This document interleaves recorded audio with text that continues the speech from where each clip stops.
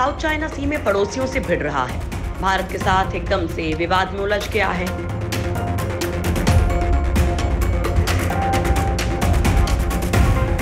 Mount Everest को अपना बताकर नेपाल को भी लाल आँखें दिखा रहा है। कमोबेश जो कर सकता था, चाइना कर रहा है।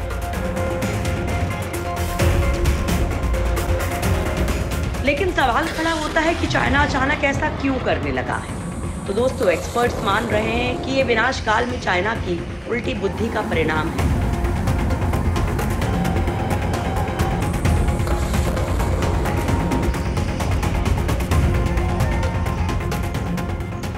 भारत और चीनी सेनाओं के बीच लद्दाख में झड़प को चीन की बौखलाहट के तौर पर देखा जा रहा है और माना जा रहा है कि कोविड 19 का प्रकोप कम होने के बाद चाइना से करीब एक हज़ार कंपनियाँ दूसरे देशों में पलायन कर सकती हैं।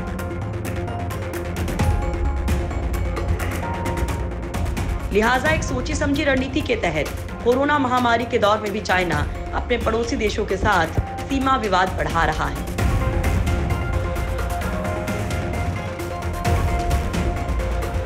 क्योंकि महामारी में कमी आने के बाद चाइना को निवेशकों के पड़ोसी देशों में पलायन का डर है और उसी से ड्रैगन अंदर खाने बौखलाया हुआ है। यानी ऐसे हथकंडे अपनाकर कंपनियों को बाहर जाने से रोकने की कोशिश में जुटा हुआ है। चाइना की हरकत के पीछे निवेश होने का डर। अगर चाइना की इस हरकतों को समझने की कोशिश की जाए तो वो अपनी सेना का इस्तेमाल भारत, इंडोनेशिया, वियतनाम, ताइवान और मलेशिया के खिलाफ इसलिए कर रहा है क्योंकि उसे पता है कि एशिया में कोई अन्य ऐसा देश नहीं है, जहाँ निवेशक जा पाए। चाइना में काम कर रही एक हज़ार कंपनियाँ कई देशों के साथ बातचीत भी कर रही हैं।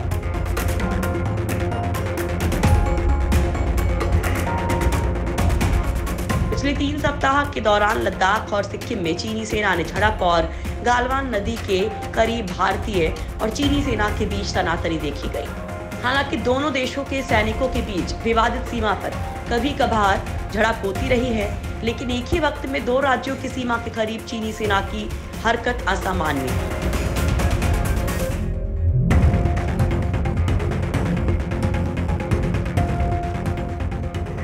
इस बात का भी शक है कि विवादित लिपुलेख दर्रे के करीब सड़क पर नेपाल के साथ विवाद को भी पेचिंग का मौन समर्थन। साउथ चाइना सी में चीन की नौसेना ने आक्रमक अभ्यास किया। चीनी तटरक्षकों के हमले में वियतनाम की मछली मारने की एक नाव ध्वस्त हो गई। इसके अलावा चीन का टोही जहाज़ इंडोनेशिया के करीब देखा गया है।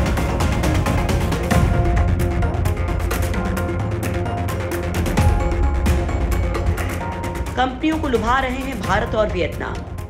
भारत चीन की सीमा पर इस आक्रामकता को उसके यहाँ से निवेश खिसकने का डर माना जा रहा है।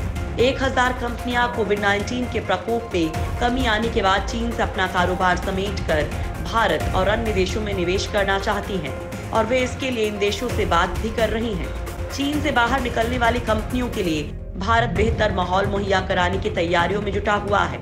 इसके अलावा वियतनाम के पास पहले भी बाज़ार पर कब्जा करने का हुनर रहा है। चीन से निकलने वाले निवेशकों के लिए इंडोनेशिया भी एक बेहतर जगह हो सकती है।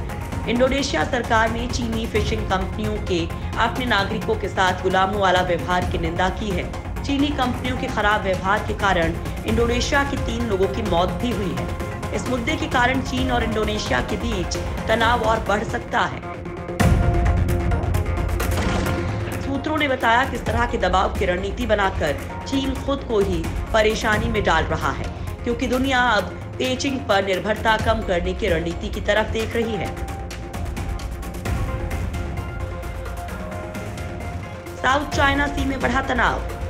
चीन के दक्षिण चीन सागर में ताइवान के नियंत्रण वाले दोंगशा द्वीप समूह पर कब्जा करने का युद्धाभ्यास करने का ऐलान करने के बाद तनाव और बढ़ गया है। अब ताइवान ने घोषणा की है कि वो जून महीने में फायरिंग का अभ्यास करेगा। ताइवान ने कहा कि इस अभ्यास के दौरान दोंगशा द्वीप समूह पर मोर्टार और मशीन गन पोजीशन की परख की जाएगी। दोंगशा द्वीप समूह में एक द्वीप और दो कोरल रीफ हैं। इसके दो किनारे हैं। ताइवान ने इसे नेशनल पार्क को घोषित कर रखा है।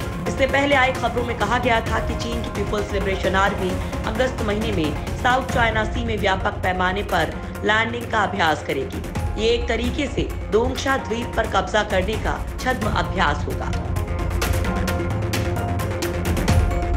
ताइवान ने मज़बूत की अपने द्वीप की सुरक्षा।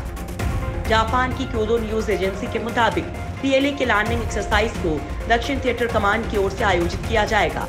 और इसमें बड़े पैमाने पर पानी और ज़मीन दोनों पर चलने में सक्षम ओवरक्राफ्ट हेलीकॉप्टर मरीन शामिल होंगे इस बीच ताइवान ने चीन की किसी भी दुसाहस का जवाब देने के लिए दोंगशा द्वीप समूह पर कोस्ट गार्ड की दो स्क्वाडन तैनात कर दी है। इसके अलावा 20, 40, इक्यासी और 120 एमएम के मोर्टार भी द्वीप समूह पर तैनात किए गए हैं। साथ ही पैदल सेना के लिए ज़रूरी उपकरण भी कोस्ट गार्ड को दिए गए हैं। यही नहीं द्वीप समूह पर सैन्य प्रतिष्ठानों को उन्नत किया गया है। ताइवान सरकार ने कहा है कि चीन के कब्जे के किसी भी प्रयास का जवाब देने के लिए निगरानी और खुफिया गतिविधियों पर विशेष ध्यान दिया जा रहा है। साउथ चाइना सी में क्या है चीन की चाल? दरअसल चीन ने कोरोना वायरस के खिलाफ जंग पर बढ़त हासिल कर ली है और अब अपना ध्यान साउथ चाइना सी की तरफ़ लगा रखा है। चीन वहाँ अपना सैन्य जाल बिछा रहा है। चीन की हरकतों को देखते हुए अमेरिका ने भी इलाके में अपने तीन युद्धपोत भेजे हैं। इसके बाद से इलाके में तनाव की स्थिति पैदा हो गई है और माना जा रहा है कि चीन साउथ चाइना सी से पेट्रोकेमिकल्स और अन्य मिनरल निकालना चाहता है और इलाके में एक न्यूक्लियर रिएक्टर भी बना सकता है। विशेषज्ञों का मानना है कि साउथ चाइना सी पर युद्ध के हालात पैदा हो सकते हैं, जिस युद्ध में चीन, अमेरिका और रूस शामिल हो सकते हैं। उधर चीन के रक्षा मंत्री जनरल वई फंगे ने कहा कि अगर अमेरिका की तरफ़ से युद्ध के हालात पैदा किए गए तो पेचिंग हर कीमत पर लड़ने को तैयार है। दक्षिण चीन सागर वैश्विक अर्थव्यवस्था के लिए काफ़ी महत्वपूर्ण है। यहाँ दुनिया का सबसे महँगा शिपिंग लेन है। हर साल इस रास्ते से तीन दशमलव चार ट्रिलियन पाउंड का व्यापार होता है। ब्रिटेन का बारह फ़ीसदी समुद्री व्यापार, यानी कि सत्तानबे अरब डॉलर का निर्यात आयात इसी क्षेत्र से होता है।